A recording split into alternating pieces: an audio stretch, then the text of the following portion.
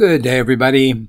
A few weeks ago, I found this tuber looking thing that had obviously been dug up by porcupines. They chewed it quite a bit, but just left it by the hole that it came from and carried on with their lives, I guess. So I asked on one of the estate Facebook groups and found that it was Ipomoea bolusiana, narrow-leaved pink Ipomoea.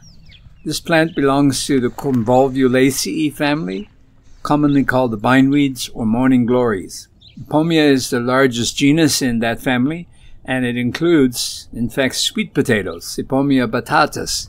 Ipomoea bolusiana is a perennial dwarf shrub with a bulbous rootstock that the porcupines had a go at. It has narrow, elongate leaves and a pink, tubular morning glory type flower. It's quite pretty. They're fairly common around here and throughout the low veld. They are beautiful when you see them in late spring when the when they flower and the veld is dry and bare. The species occurs throughout southern Africa and Madagascar, where it grows in well-drained soil with some water and lots of sun. That pretty much describes this area. Ipomoeas as a group are chemically rich and are often studied for various medical properties. And that's it for now. Have a great day, everyone.